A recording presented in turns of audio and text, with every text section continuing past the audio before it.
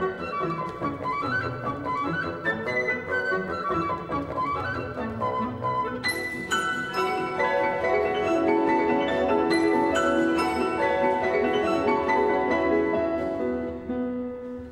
Der Martinstag wird jährlich am 11.11. .11. gefeiert. In vielen Regionen Deutschlands, Österreichs, der Schweiz, Luxemburgs, in Teilen von Belgien, Südtirol und Oberschlesien sind Umzüge zum Martinstag üblich. So ist es auch in den von deutschen Minderheiten bewohnten Gegenden und Regionen in Rumänien.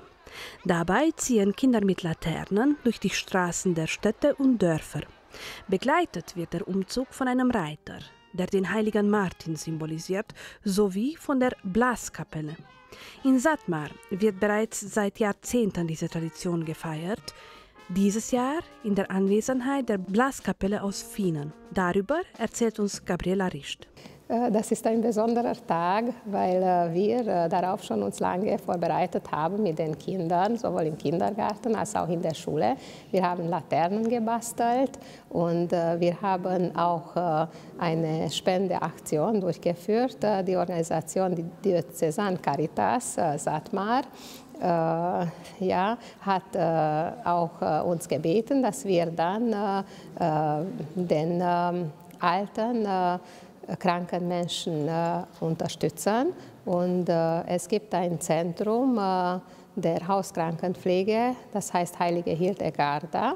Und äh, für die alten Menschen, die in diesem Zentrum betreut werden, sammeln wir äh, Geld. Und zwar so, dass die Kinder äh, die Kerzen in ihre selbst gebastelten Laternen kaufen.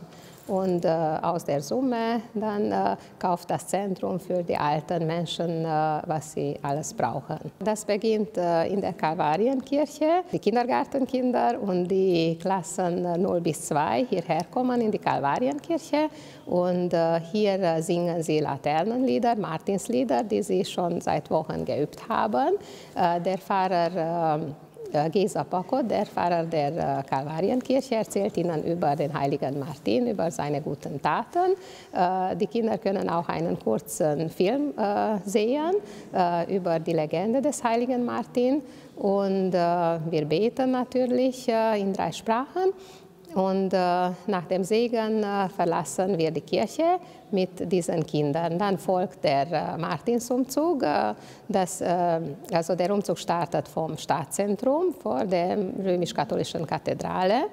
Und äh, das ist auch was Besonderes, weil auch in diesem Jahr kann ein Reiter dann, also ein Kind, eigentlich das den heiligen Martin symbolisiert. Er sitzt auf dem Pferd äh, hat einen roten Mantel, wie der heilige Martin, wie der heilige Martin hatte, und er reitet voran. Und äh, dann kommen die Kinder, dann kommt die Blaskapelle aus Finnen und äh, danach wieder all die Kinder aus dem Johann Ettinger Lyzeum, die Grundschulkinder, dann die Kindergartenkinder des Ham Janusz Kindergartens, des Kindergartens, des Kindergartens Nummer 9 und in diesem Jahr wollten auch die Kinder aus dem Kindergarten Nummer 6 mitkommen. Dann äh, kommen die Kinder der Klassen 3 bis 4 äh, in die Kirche.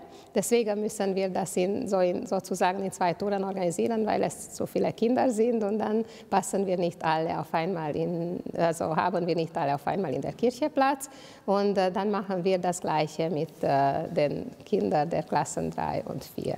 Diese Veranstaltung organisiert äh, seit äh, mehr als 20 Jahren die Deutsche Jugendorganisation Satmar gemeinsam in Zusammenarbeit mit äh, dem Johann Ettinger Lyzeum und der Deutschen Gemeinde der Kalvarienkirche. Äh, diese Veranstaltung hat auch einen Erziehungscharakter, weil äh, dadurch, dass die Kinder äh, Geld sammeln für einen guten Zweck, machen sie auch eine gute Tat, genauso wie der heilige Martin das getan hat. Und wir machen sie darauf aufmerksam, dass sie genauso wie der heilige Martin den Alten und den Notleidenden und den Kranken geholfen hat, dass sie auch den armen Menschen, den Bedürftigen helfen. Zu den Traditionen gehören auch die Worte des Pfarrers, wobei die Kinder über die Wichtigkeit des Teilens und das Symbol des Lichtes erfahren. Calvarienkirche Zatmar, bun venit dragi copii, dragi părinți, aici ne întâlnim în Biserica Calvaria. Isten hozott, kedves gyerekek, kedves szülők, nagyszülők, itt a Kálvária templomban. Sie sehen, Jesus erwartet auf uns, ja. Sehen Sie Jesus dort, hoch dort, ja. Vedeți pe Iisus, ne-a așteptat tot timpul, avea răbdare să ne aștepte și acum se bucură tare mult că suntem aici împreună. Várt Jézus minket, itt látjátok, itt van szépen várt sokáig, és most már itt vagyunk. Aber heute, wir feiern insbesonders, wem feiern wir? Pe cine celebrăm astăzi noi? Kit, kit ünneplünk? Haben Sie ja... Szent Martin, pe Sfântul Martin, Szent Mártont ünnepeljük, hurrá! Ja, St. Martin, wir feiern Martin von Tours, ein Bischof und ein besonderes Freund der Kinder, die ihn durch die heutige Martins Umzüge wir ehren, sărbătorim pe Sfântul Martin astăzi și o să facem un proces împreună, proces frumos pe care am pregătit noi toți. Együtt fogjuk ünnepelni őt, és együtt megyünk körbe itt, és olyan szép lesz. So, Heilige Martin war ein Soldat in der römischen Heer gewesen. Dann lernte er den christlichen Glauben kennen und bereits bereitete sich aus der heiligen Taufe vor. Sfântul Martin a fost un soldat, un soldat mândru, dar l-a cunoscut pe Isus și a devenit și el un creștin, creștin bun și până la urmă a ajuns să fie episcop, Szent Márton. Ő egy katona volt, de aztán megismerte az Úr Jézust, és keresztény lett belőle. Wir sind alle Christen. Noi suntem toți creștini, mi mind keresztények vagyunk. Ja, wir sind Christen. Und wir freuen uns, dass Heilige Martin heute uns helft zu feiern. Ma örülünk, ne bucurăm că ne ajută ca să celebrăm împreună. So, wir werden einiges auffinden von seinem Leben und dann wir werden ein bisschen beten. Wir äh, müssen die Licht ins Welt äh, hier heben. Und was bedeutet die Laterne und was passiert heute? Äh, Laterne sind die Sterne auf dem Mond und wir müssen auf die Straße gehen mit dem Licht. Bei dem Umzug bringen die Kinder Martinslieder singend das Licht in die Stadt. Die Eltern und Großeltern sind dabei auch anwesend. Heute feiern wir den Martinstag. Ähm, die Kinder haben sich aus dem Kindergarten ziemlich viel dafür vorbereitet. Schon seit einer Woche bereiten sie die äh, Lanternen selber vor, zusammen mit den Eltern. Und heute war dieser Rundgang und wir feierten so den Martinstag. Der Martinstag wird äh, seit langer Zeit in Satmar gefeiert. Ähm, üblicherweise bereiten sich die Kinder da, dafür vor. Sie bauen selber die Laternen und da gibt es diesen Rundgang, wo auch Schüler aus der Schule, aus der Deutschen Theoretischen Schule hier teilnehmen und auch die Kinder von dem Kindergarten. Heute ist Martinstag. Und zeigst uns auch deine Laterne bitte. So ist meine Laterne. Und äh, ich habe und sein Name ist Petre Spirescu. Und warum grün und blau? Erzählst du uns ein bisschen über deine Laterne? Weil äh, ich mag äh, grün und äh, blau und äh, so habe ich äh, und so mag ich. Diese ist meine Lanterne.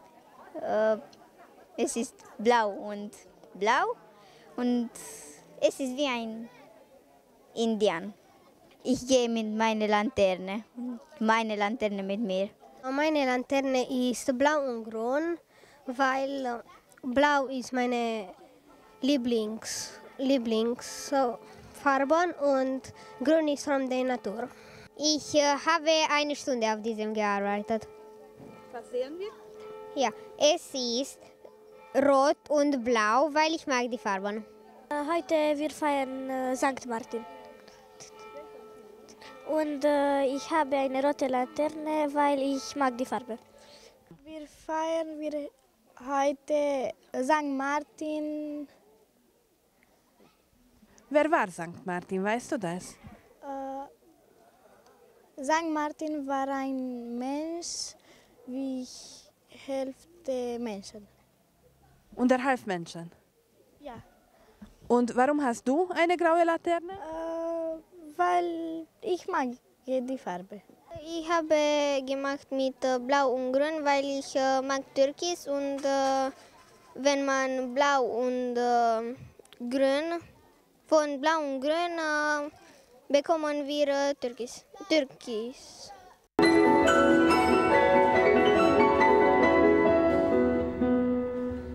Alături de noi se află în studio dr. Edghiun Ismail. Bună ziua! Bună ziua! Mulțumim că ați acceptat acest interviu și ca și o primă întrebare destul de directă, ce este acupunctura? Acupunctura este o metodă uh, care face parte din corpul medicinii tradiționale chineze și se adresează pacienților care au nevoie de acest gen de ajutor. Ea constă în introducerea unor ace la nivelul corpului uman și uh, se străduiește să readucă echilibrul.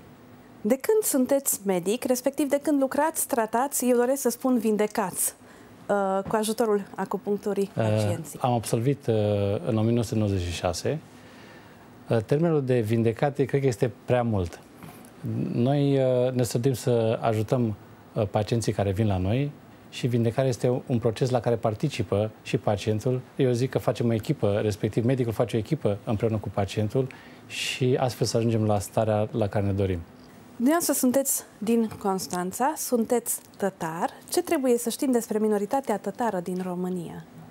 Minoritatea tătară, uh, ca locație, este predominantă în zona Dobrogei. Uh, a venit, să zicem, acum o perioadă de timp și s-a așezat uh, într-o zonă care a considerat că este favorabilă. Este constituită din mai multe subgrupuri sau, să zicem, triburi, da? și acum încearcă să-și recâștige uh, bagajul cultural. Asta înseamnă istoria, tradiții, obiceiuri, și deoarece vorbim despre minoritatea tătară, doresc să vorbim și despre limba tătară, deoarece dumneavoastră acasă cu părinții ați vorbit limba tătară, astăzi cu fratele dumneavoastră, din câte știu vorbiți limba tătară și aș dori să vă întreb de ce. Credeți că este important să păstrăm limba maternă, chiar dacă vorbim câteodată, doar, în ghilimele doar, despre un dialect, cum este, de exemplu, în cazul nostru la Șoabii Sătmăreni, e vorba despre dialectul și nu limba șobiască. De ce este important să ne păstrăm pe lângă identitatea și limba maternă? Uh, cuvintele au o foarte mare importanță. Uh, au o valoare uh, nu numai istorică și culturală, dar au legătură și cu vindecarea. În cazul limbii tătare, cred că putem vorbi de limba tătară, dar și de dialecte. Vă dau exemplu meu, eu fac parte dintr-o, hai să zicem, un amestec. Pe linia tatălui vin parte, fac parte din comunitatea Nohai sau Nohai și pe când din partea mamei din Uh, linia Crâm. Automat ce spuneți dumneavoastră, uh, se păstrează dialectele și în cadrul comunității chiar se făcea diferență în, uh, în limbaj și știam în funcție de cum vorbești și ce vorbești, de unde sunt, ce tradiție are și automat cunoșteam în mod implicit mai multe lucruri despre acele persoane. Mi-ați povestit și despre legătura noastră cu pământul. Aici nu mă refer la țara natală, ci la pământul natal. Ce înseamnă această legătură cu pământul natal? Din pământul natal noi obținem foarte multe informații, începând de la alimentație, mediu, climă. În momentul în care plecăm din pământul natal, suntem supuși unui efort, să zicem, de adaptare. Adaptare în zona unde ne-am așezat. Dacă vorbim despre tătari, istoria lor provine de undeva din Asia, parcurgând stepa și în cazul nostru așezându-se în Dobrogea. Automat comunitatea a trebuit să se regândească, să se reașeze și să adapteze uh, tradițiile vechi în zona în Dobrogei. Uh, respectiv la pământ. Uh, fiind o comunitate de, de nomazi, automat inclusiv alimentația s-a adaptat zonei unde s-au așezat. Și cum înțelegem noi acest lucru astăzi, legat de alimentația noastră de astăzi? Uh, fiind nomazi, erau în special crescători de animale. Uh, nu erau niște agricultori, nu erau uh, o populație care să se bazeze în, gen, în general pe uh, produse obținute din agricultură și atunci uh, carnea era un aliment preponderent. Nu numai carnea, dar și laptele și produsele animale. așezându-se, automat a trebuit să reașeze bucătăria, respectiv produsele tradiționale, să readapteze uh, zonei uh, unde s-au așezat, în cazul nostru uh, aici în, în Dobrogea. Și îmi permit să vă întreb, deoarece sunteți medic și specialist în acest domeniu, la ce să fim noi atenți legat de, apropo, alimentație, pământ natal, anotimpurile?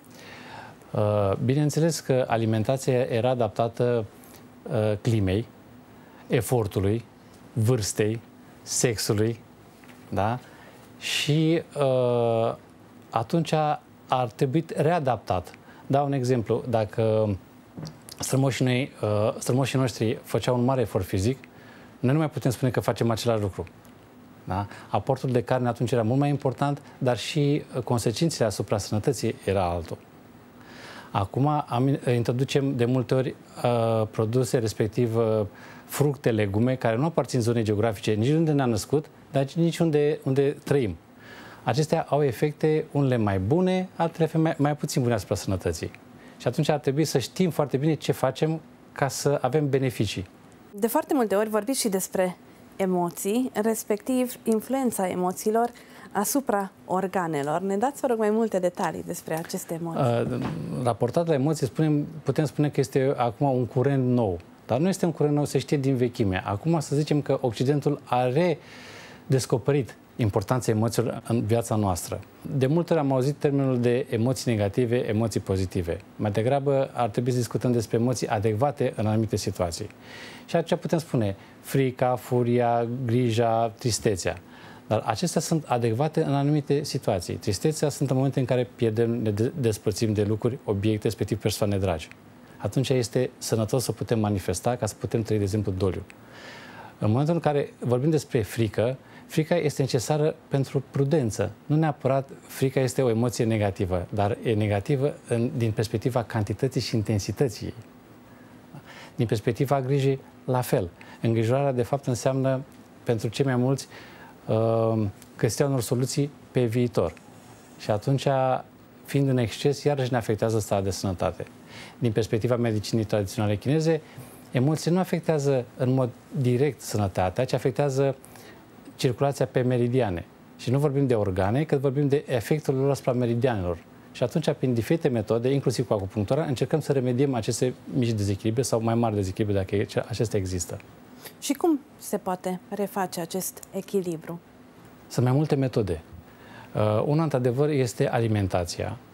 Asta implicând uh, o serie de uh, rețete, alimente, condimente de multe ori. Da? Sunt aici o întreagă teorie a medicinii tradiționale chineze raportată la uh, cum să ne ajutăm. Din perspectiva plantelor, plantele sunt extrem de mult benefice nouă. Pentru asta este iarăși o zonă de mare implicare. Noi se pare că am pierdem încet, încet această legătură cu plante, introducând mai nou medicament, medicamente, respectiv produse de sinteză. O altă metodă, bineînțeles, este acupunctura, dar mai sunt ventuzele, mai este moxa, mai este practica de cultivare denumită uh, pentru cei care cunosc termenul generic de Qigong. Și sunt mult mai multe decât, uh, decât ne putem uh, noi imagina, să zic. Cine este invitat să vină la ședințe de acupunctură? Cine poate să vină? În general, orice persoană, indiferent de sex, etnie, religie, uh, nu ține, acupunctura nu funcționează în funcție de aceste criterii, ci orice persoană care simte și ar avea nevoie de acest ajutor. Dacă, pentru că mulți spun și dacă unii ar spune, mie mi este frică de a ce, ce puteți recomanda sau ce ar trebui să recomandăm acestor persoane? De multe ori frica de a, de a ce ascunde alte mici probleme sau mai mari probleme. Întâi ar trebui văzute acele lucruri. Acele de acupunctură nu sunt acele de seringă. Nu sunt acele care noi, când eram copii, primeam injecții, respectiv avem această asociere cu durerea. De multe ori, frica de ace uh, reprezintă frica de suferință sau frica de durere. Dar în același timp se poate folosi medicina tradițională chineză prin uh, tehnici de manipulare, masaj, tuina, cum se cheamă, sau alte metode. Sunt ventuzele, sunt uh, cu totul și cu totul alte metode decât acupunctura. Și ca să rămânem la ședințe de acupunctură, știu că pacienții dumneavoastră primesc și, în ghilimele, teme de casă. Da, pentru că uh, vindecarea este un proces și, cum spuneam, noi facem echipă. Vindecarea nu este apanajul exclusiv al medicului. Uh, din perspectiva medicinii tradiționale chineze, medicul era o trinitate. Era medic pentru trup, era învățător pentru minte, respectiv preot pentru suflet. Și atunci, ca să putem uh, să obținem rezultatul dorit și respectiv stat de bine, sănătate, au primesc teme de casă, au ceva de făcut. Și fie, fiecare adaptate fiecare persoane care uh, vine și cere acest ajutor. știu că dumneavoastră ați fost în Noua Zeelandă, respectiv Hawaii, și ați trăit împreună cu poporul Maori. Ce v-a surprins și ce putem noi să învățăm de la acest popor Maori? Ei sunt o populație de navigatori. În timp, din păcate, au devenit sedentari și s-au adaptat, uh, hai să zicem, cerințelor acestui secol. Încet, încet, uh, comunitatea încearcă să-și domânească limba, tradițiile, obiceiurile. Și este foarte important să înțelegem, să putem învăța de la ei. La fel e și, și Hawaii. Vechea populație iarăși și-a pierdut foarte mult din aceste obiceiuri și tradiții și ei încearcă din nou să recapete limba, tradițiile, uh, inclusiv metodele vechi de vindecare, reies la suprafață pe care se pare a fost foarte mult timp neglijate și se dovedesc a fi foarte eficiente. Și ce înseamnă pentru acest popor uh, dansul, respectiv ceremonia Haka? Uh, haka noi vedem ca un dans. Ei o percep ca un act extrem de sacru. Și uh, haka este, hai să zicem, să revenim, este un dans, nu e un dans, dar este o poveste, o istorie a tribului și a comunității din care face parte. Este, se adaptează în general triburilor, fiecare trib are propriul dans haka, fiecare are o coregrafie specifică și nu numai atâta. Apropo dans, apropo coreografie, um, de ce este dansul important uh, și faptul să dansăm, indiferent de ce minoritate facem parte sau majoritate? Uh, prin dans uh, se spune că ne legăm de strămoși și de divinitate. Dansul era un act profund sacru. În momentul când facem acest lucru, ne relegăm și ne, ne repunem în acord cu noi înșine. Și cum uh, vedeți dumneavoastră cântarea și cântecul și melodiile și cântecele, muzica? Muzica face parte de asemenea din, din, din uh, vechea arta vindecării. Da? Când uh, ne gândim la Orfeu, de fapt, uh, uh, asta era una din uh, intenția lui, să aline sufletul respectiv, să aducă vindecare prin intermediul, intermediul muzicii. Atunci, muzica, uh, iarăși din perspectiva medicinii tradiționale, folosită în mod adecvat, ajuta foarte mult la alinarea, respectiv vindecarea sufletului, cu consecințe asupra minții, respectiv a, a corpului. Și cum apare cântecul și cântatul la Maori? Uh, la Maori au o tradiție interesantă. Uh, bărbatul vorbește, are, cred că sunt unul din cei mai buni uh, speaker, dacă putem spune așa. Cred că nu avem un termen adecvat să traducem în limba română, dar uh, femeia cântă. Dacă femeia nu cântă, nu validează ce a zis bărbatul, ce zice bărbatul nu are nicio valoare. Și totdeauna uh, bărbatul are o formă extrem de masculină și profundă, cu impact extra, extraordinar, și femeia cântă, întărind ce a spus bărbatul, împreună devin un întreg și mesajul fiind cu totul și cu totul altul. Și ce putem să știm despre forma de salut la Maori? Uh, Hunghi. Uh, forma de salut este un act sacru. Așa cum noi avem în tradiție a da binețe, ei spun uh, în acel moment se conectează unul cu altul, respectiv uh, respiră același aer și este o onorare și a persoanei din față și a strămoșilor pe care nu-i vedem și nu, nu mai sunt în viață. Ce rol au strămoșii noștri, apropo, legat de vindecare, legat de tratarea problemelor? Uh, veche tradiții spun că ne ajută în vindecare. Noi suntem ființe imperfecte, uh, dar în același timp avem darurile, acele, acele abilități care sunt în noi, dar sunt încă neexplorate și nescoase la suprafață. Prin intermediul strămoșului putem avea acces, acces la aceste abilități și să putem să ajungem în starea aceea de fericire, respectiv de bine, să zic. Și foarte mulți poate își pun semnul întrebării legat de credință. De ce este credința? De ce importantă și de ce joacă credința un rol important în viața noastră? Credința cred uh, că este metoda în care ne relaționăm la divinitate. Fiecare popor, populație, fiecare trib și-a adaptat cultura și modalitatea în care să se, să se raporteze la divinitate, fiecare găsind metode specifice. Și atunci, prin această legătură, cred că uh, fiecare își găsește locul în lumea asta, rostul și știe ce are, ce are de făcut. În, uh, de exemplu, ați uh, menționat de Maori. Aveau diferite uh, evenimente în viața unor persoane, de exemplu, trecere, erau momente de trecere. Și atunci uh, acea persoană, de exemplu, în perioada de adolescență, afla sau își aducea aminte pentru ce a venit și să împlinească rostul în lume. Și ca să rămânem la Maori, știu că ei practică, de exemplu, printre altele, și mas- masajul polinezian. Ce înseamnă acest masaj? Uh, tradiția spune că niște ființe celeste, coborători din, uh, din Pleiade, au împărtășit oamenilor metode de vindecare prin atingere respectiv ceea ce noi numim impropriu astăzi masaj. Este practicat uh, de o comunitate relativ mică, dar încă o dată se încearcă readucerea la suprafață acestor metode profunde de vindecare care efectă asupra corpului, minții și sufletului. Astăzi, în secolul 21, sunt foarte multe popoare care sunt în mișcare, care emigrează, care se întorc, fie vorbim aici de o perioadă mai lungă sau scurtă. Ce ar fi bine să știm sau să păstrăm, respectiv să reluăm din noua țară natală? Orice întâlnire a unei, uh, unui popor, unei comunități, este un act de îmbogățire. Fiecare uh, comunitate, popor, națiune are propriile daruri. Și cu cât uh, interacționăm, cu atât devenim mai bogați. Și atunci, chiar dacă ținem foarte mult la tradiții, la obiceiuri, este foarte important să ne adaptăm și să putem prelua ceea ce și se potrivește și ne întrege și devenim uh, și ca și comunitate, și ca persoană uh, mult mai bogați și mai întregi. Săptămâna viitoare începe la noi uh, perioada Adventului, pregătirea pentru perioada Crăciunului, pentru Crăciun. Uh, ce mesaj ați avea sau dacă aveți un mesaj, la ce să fim atenți în această perioadă de liniște?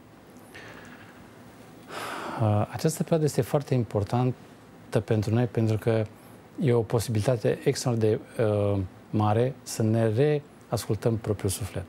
De acolo primim foarte multe informații și uh, de multe ori neglijăm această parte în viața noastră. Vă mulțumim frumos pentru acest interviu. Mulțumesc și eu.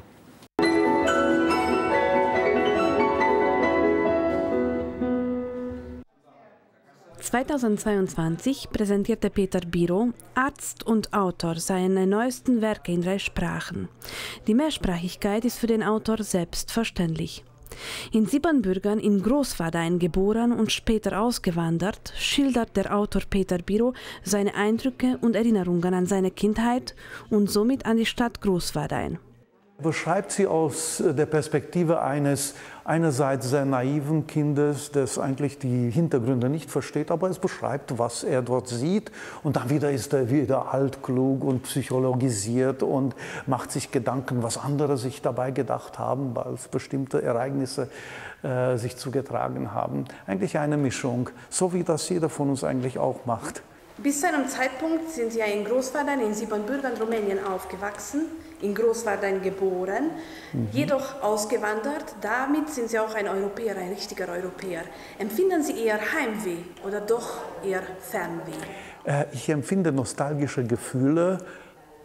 Heimweh schon ein wenig. Ich komme immer sehr gerne immer wieder zurück und äh, äh, erlebe vieles wieder neu, wenn ich dort bin. Aber ich sehe nicht mehr die Notwendigkeit, dort leben zu müssen. Also ich komme gerne, ich bleibe gerne eine Weile und dann gehe ich auch wieder. Und im Übrigen bin ich ein ziemlich versierter Reise, äh, Globetrotter. Wenn man Sie fragt, wie es in Siebenbürgen damals war, wie antworten Sie den Schweizer Bürgern? Wie ist Siebenbürgen? Wie war Siebenbürgen damals? Interessanterweise gibt es einige Parallelen zwischen äh, Siebenbürgen und der Schweiz. Auch Siebenbürgen ist ein multikulturelles, multiethnisches Land. Aber das Siebenbürgen, das ich zurückgelassen habe in den 70er Jahren, kann man mit der Schweiz nicht vergleichen. Das war ja natürlich eine Diktatur, eine mit äh, erheblichen wirtschaftlichen Einschränkungen und eben vor allem die Unfreiheit, die wir hatten. Das ist ja buchstäblich das Gegenteil von der Schweizer direkten Demokratie, wo über alles abgestimmt wird. Also es gibt Ähnlichkeiten, es gibt auch absolute Gegensätze. Und was ist das nächste Buch, das Sie veröffentlichen? Ich denke, ich habe so langsam meine, meinen Stil gefunden in diesen vier Jahren, seitdem ich schreibe. Und das geht in Richtung fantastische Geschichten, die skurril sind, die möglichst absurd sind, aber mit einer hyperrealistischen Sprache, so dass der Leser sich den größten Unsinn trotzdem gut vorstellen kann, weil das in sich geschlossen und nachvollziehbar und logisch ist. Und wie kann es sein, dass er in Anästhesist zum Schreiben kommt? Ah, ich bin mir nicht sicher, ob das so spezifisch an der Fachrichtung hängt. Sagen wir mal so, Orthopäden, die Knochen brechen und welche zusammenschrauben, sind vielleicht nicht so ähm, äh, literarisch interessiert. Aber sonst denke ich, in der Zunft der Mediziner ist ein relativ hohes Interesse an Literatur, sei es Literatur zu konsumieren oder sogar welche zu produzieren. Judith Schimon berichtete über ihre Erinnerungen an die frühere Stadt Großwardein, in welcher auch sie aufwuchs und somit den Autor Peter Biro seit seiner Kindheit kennt. Abban az időben nem volt, nem volt szabad uh, tudni azt, hogy valaki diszidált. És tűntek el az osztálytársaink, és egyszerűen nem tudtuk, hogy mi lett velük, és hol vannak. Majd rá egy-két hétre a szülők én a szüleimtől tudtam meg, hogy a bíró család megkapta az útlevelet és elment. Elmentek német, elmentek Ausztráliába, tudtuk mi, és aztán kiderült, hogy, hogy Németországban, de, de nagyon rossz érzés volt. Egy adott pillanatban nagyon sok osztálytársam tűnt el, így egyenként, akik vagy Németországba, vagy Izraelbe, vagy az Egyesült Államokba mentek, majd később, már felnőttként kezdtek eltűnni a barátaim a 80-as évek közepétől a végéig. Unser Wohnraum war multifunktionell, Salon, Schlafzimmer und Kinderzimmer in einem. Abends wurde ich so gegen 19 Uhr ins Bettchen verfrachtet und die Erwachsenen zogen sich in die Küche zurück, wo, von wo ich eine Weile noch unverständliche Gesprächsfetzen und Gelächter hören konnte. Das ist übrigens in meinem Alter von etwa zwei, drei Jahren. Soha nem fogom elfelejteni, jött haza külföldről egy barátom, és azt mondta, hogy döbbenetes, mikor átjössz az osztrák határon, már büdös van. Uh, a szocializmusnak szaga van, a diktatúrának szaga van. Hát nyilván ö, ö, nem voltak tiszták a városok, levegőszennyezés volt 600-ig, hát ugye a kombinátok, a gyárak, a kipufogók, a mindenféle, amit el tudsz képzelni, plusz a szegénység. A szegénységnek is van egy szaga. Hát igazából úgy született meg a könyv, hogy én felfedeztem a Pétert a Bábelbe. És mondtam, hogy én nagyon szívesen közölném magyarul, lefordítanám az írásait. És akkor mondta, hogy oké, okay, neki a szerzői jog az övéké, tehát mehet. Majd olvastam néhány írását a Váradról, a gyerekkoráról. És ez azért is érdekes, mert ezek igazából korrajzok. Tehát gyakorlatilag a 60-as évek korrajza a városról, a társadalomról, a diktatúráról, a, a tanügyről, az iskoláról. És akkor felhívtam telefonon, felvettem vele a kapcsolatot, és mondtam neki, hogy Péter, a helyzet az, hogy én szeretném ezt könyvé alakítani. Akkor kronológia, meg, meg beszéljük meg a témákat, meg lássuk, mi következik. És akkor elkezdtünk együtt dolgozni konkrétan. Ő csak német nyelven ír, abba érzi magát biztonságba, és akkor vagy a, a, a, a izraeli ö, ö, hölgy fordította romára, és én romáról magyarra, vagy pedig Szász Andrea németről nyers fordításba magyarra, és én megszerkesztettem és, és, és szöveget csináltam belőle, illetve aki, meg, aki újra olvasta és friss szemmel úgy rátekintett mindannyiunk munkájára, az a Szücs László volt az Újvárat főszerkesztője, és a Holnap Kulturális Egyesület kiadó főszerkesztője szintén. Tehát gyakorlatilag így készült el a könyv, ö, ö, hát másfél éves munka van benne. Über die Zusammenarbeit des Autors Peter Biro mit der Online-Zeitschrift Babel berichtet uns Andrea Gitzer, die die Online-Zeitschrift ins Leben rief. Pétert egy altatorvos barátja hozta a Babelbe, egy elég ismert írót, hívják, hogy Gabriel Ben Meron, és egy nagyon ismert altatorvos, Izraelbe professzor és egy ismert személyiség, aki elég gyakran jár Kolozsvára, és én itt Kolozsváron ismertem meg, megkértem, hogy írjon a Babelbe, és lassan-lassan több altató orvos behozott ebbe a Babel társaságba, közöttük Bíró Pétert is. És akkor elkezdett írni, és az volt nála az érdekes, hogy neki az anyanyelve magyar, románul tanult a középiskolába és az egyetemen is egy évet, de közben legjobban németül beszél, tehát ő az elbeszéléseit németül írta meg, és akkor mindig valaki lefordította romára, és megjelent a Babelben. No, a Babelt egy nagyon jó barátnőm olvassa a Simon Judit újságírónő Váradról, aki olvasván a Babelt, rájött, hogy osztálytársa volt Bíró Péter, és akkor találkoztak mondjuk, hogy 40-45 év után, és azt mondta neki, hát az összes emléked a magyar várathoz kötődik, gyere, hozunk ki egy magyar könyvet is. És akkor Judit fordította a németből románra lefordított cikkeket, Judit fordította magyarra, és így állt össze a várattól a váratig. Mi orvostanhallgatónk foglaltuk el az első helyet, következett a gyógyszerhallgatók kisebb csoportja, végül a gyermekorvosok, akik első évben szovjet mintáról külön kurzusokra jártak.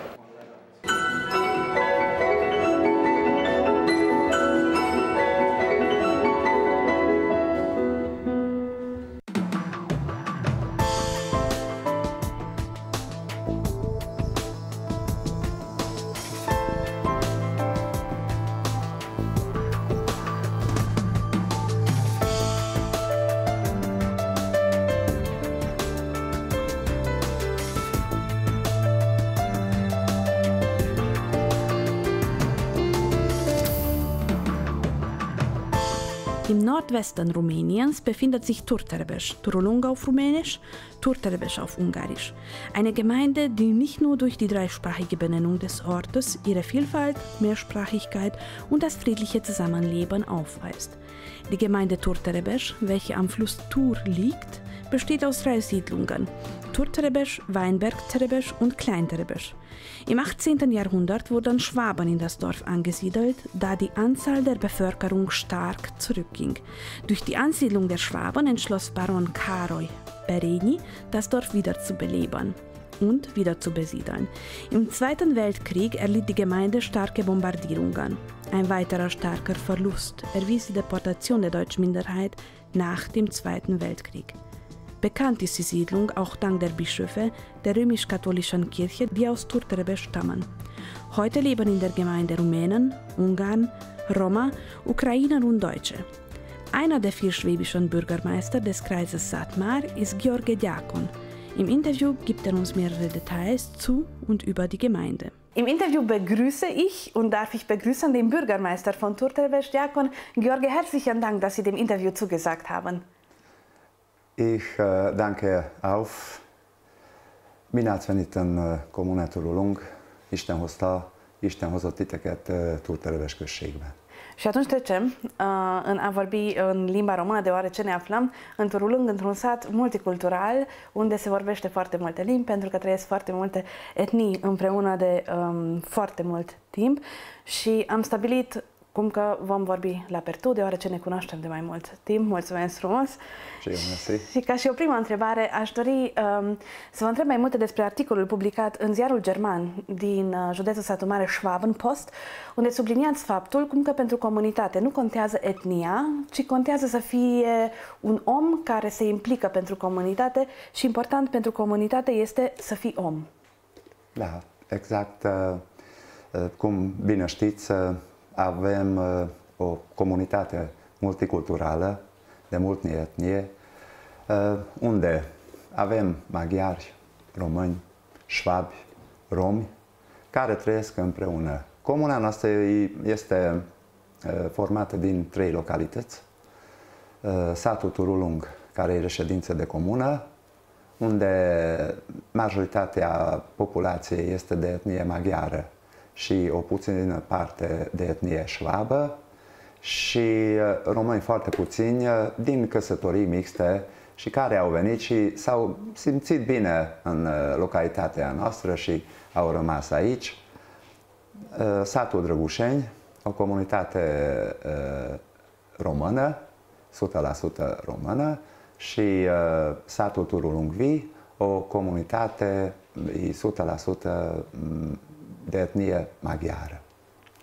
Uh, ai fost reales a treia oară.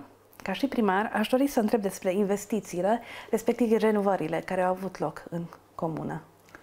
În comună am avut uh, destul de multe uh, investiții, dar și puține, că eu nu sunt mulțumit cu investițiile care sunt uh, făcute, că omul ar dori să facă cât mai mult pentru o comunitate și mai ales unde este în fruntea comunității, a dori să, să, să facă cât mai multe lucruri, dar din păcate uh, și legislația și birocrația din țară ne îngreunează foarte mult uh, uh, lucrurile. Atât, atât cu proiectele, cu avizările cu de toate. Acum n-aș dori să intru în detalii, că se poate vorbi o zi întreagă despre problemele care sunt, dar uh, am reușit. Mm, eu încă o dată vă spun, nu sunt mulțumit cu cât s-a realizat în, uh, în comună în ultimii 8 ani, dar uh, din fericire am văd, văd, văd calea de ieșire din, din impasul ăsta care ne-au împiedicat foarte mult uh, lucrurile. Am început asfaltarea a străzilor, asfaltare care o să fie numai pe porțiune de 4 metri după ce se finalizează canalizarea, o să fie de 5 metri jumate, cu acostament, cu de toate. N-am dorit să, să băgăm și bani în pământ, să pierdem o, o groază de bani, că oricum o să fie săpat, stricat și uh, starea uh, finală o să fie făcută după canalizare. Asta o facem acum că problema foarte mare, uh, adică nu-i problemă, este o bună stare că fiecare familie are mașini, două, trei mașini, oamenii circulă cu mașini, praful este mare și de aia stagem un strat de asfalt ca să ca să cât de cât să, să fie mai, mai, mai, mai trăibil uh, localitatea. Pe lângă asta, investiții, uh, Turul Ungvi este un sat, uh, nu pot vorbi izolat, era cândva izolat, am reușit să construim drum asfaltat până la ei. Acolo, în Turul Ungvi, dacă mergem, dacă o să aveți timp și uh, facem o, o excursie mică, uh, suntem în rai, vie, nobilă, oameni harnici, case frumoase, deci o zonă uh, extraordinar de, de, de frumoasă, cu care ne mândrim și, și noi. Avem uh, o casă șvăbească care am primit ca donație din Canada, care acum este în curs de uh, de a trece pe primărie. Că, din păcate, până ce nu este în uh, inventarul, nu este în proprietatea uh, primăriei, nu putem face nicio investiție. Sper că până în vară se rezolvă și atunci uh, putem renova unde am dorit să, să amenajăm un muzeu al satului. Că, din păcate, din casele vechi șfăbești, doar două mai sunt existente în localitate. Deja avem o colegă la școala generală care a început să strângă materialele, estavatele de cusut, de țesut, de toate, fotografii și tot, tot, tot ce, ce este relevant și care au folosit oamenii pe vremuri. Despre comunitatea romă din Turulung, în ce măsură este comunitatea romă integrată? Avem o comunitate destul de mare de romi. Acolo avem și dezvoltări bucurătoare.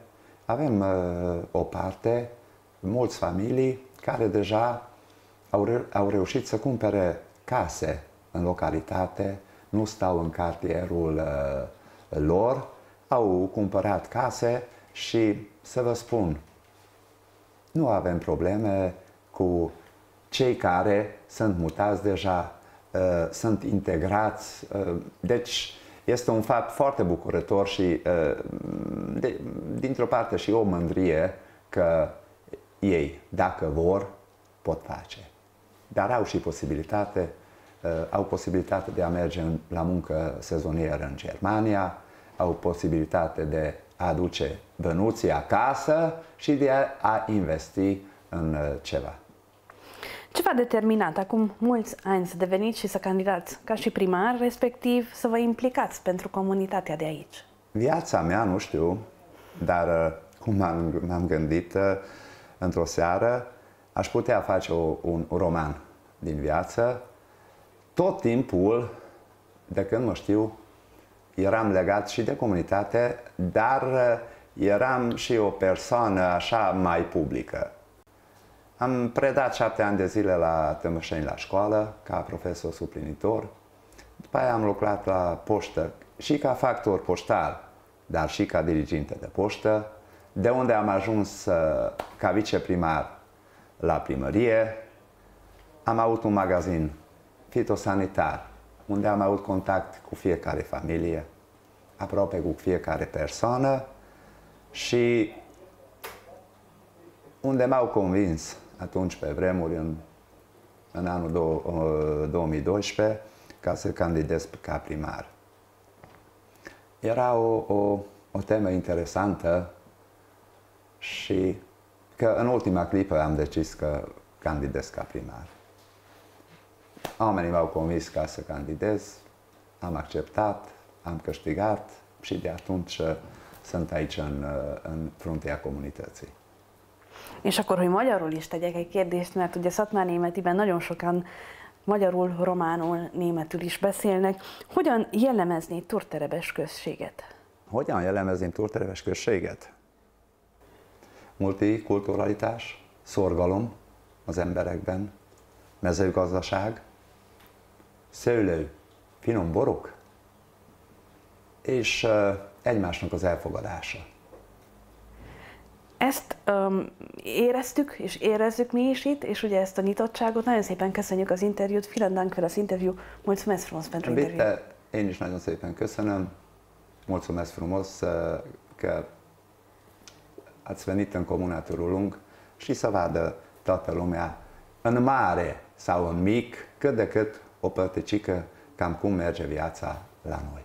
Ein wichtiger Treffpunkt in Turterbesch ist der Sitz des Deutschen Forums. Most a Német Demokrata Fórumnak a, a székhelyén vagyunk, ahol a fórum megvásárolt ezt a telket, egy kicsit a házat újjáépítette, mikor vásárlás volt, figyelembe vettük, hogy azért a hagyományokra is kicsit tekintettel legyünk, és akkor itt látható a felújítása váró csűr, ami valamikor jellemző volt Túrtereves községre, és a magyar sváb lakta településekre, ahol tárolták a szénát, a jószágok voltak bent, terményeket tároltak, nagyon praktikus dolgok voltak, praktikusak még ma is, mert bármit lehet benne pakolni, tárolni, úgyhogy még ma is megállja a helyét. Hát itt a hátamnál látunk egy régi svábházat, ahol utóbbi években nagy élet nem volt.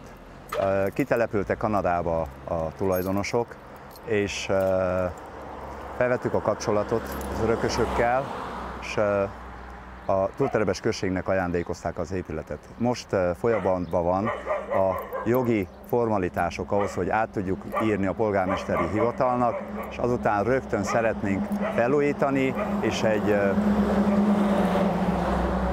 falumúzeumot kialakítani ebben az épületben, sőt, hátra egy csűrt is visszaállítani a, a régi eredeti állapotába.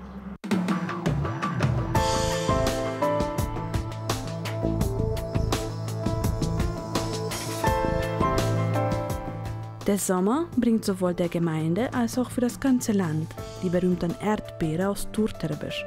Die Ernte erfolgt in kleineren Gruppen und dauert während der Erntezeit von morgens bis zum späten Nachmittag. Über den traditionellen Anbau der Erdbeeren erfahren wir von dem Familienmitglied des ersten Bauern, der Erdbeere in Turterebesch anbaute. Turterebesen vagyunk, egy kis termelőnél, Bauer Tibornál, aki már közel 20 éve epertermesztéssel is foglalkozik, tehát főképp epertermesztéssel foglalkozik, mert ez itt túlterebesen, ez régi tradíció, már a, a nagyszüleink is epret termesztettek. Legelső eper termesztő a községbe a feleségemnek a nagyapja volt. Az 1950-es években hozta az első palántákat. És miért teremít meg ilyen jól az eper? Hát maga, ez, ez az itteni természeti adottság, a, az eper, hogy ilyen szépen, ilyen jól megterem az eper. Tehát mi hagyományos technológiával szedjük az epret, ilyen kosárba, mert ennek az az előnye, ha esős idő is van, vagy bármi van, tehát a, a víz kifolyik belőle, a nedvesség lecsepeg, és külön ilyen kis kosarakba szedjük a hibásat, a rosszat, és eltávolítjuk a parcellából, hogy a betegséget ne terjessze. Tehát ezzel a technológiával történik az eperszedés.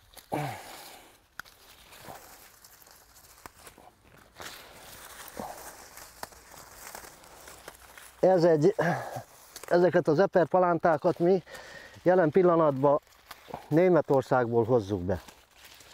Több fajtával foglalkozunk, ez például egy Ázsia, aztán van még Álbánk, Áprika, Rendezvous, tehát ezeket a fajtákat termesszük, amik, amik itten ki lettek próbálva, és kitűnően mennek. Nagyon jó minőséget teremnek, nagyon finomak. Maga a minőség sokkal jobb, mint a, a, amit, amit adnak Németországban. És mondhatjuk, hogy akkor Turtereves így, így az egész országba eljut. Hát igen, igen. Der Weinberg Terebesch ist nicht nur der Ort der Arbeit, sondern auch ein Rückzugsort sowie ein Ort der Ruhe. Én úgy gondolom, hogy egy túlterebesi paradicsomban vagyunk, mert hál' Istennek bennünket megáldottak minden jóval.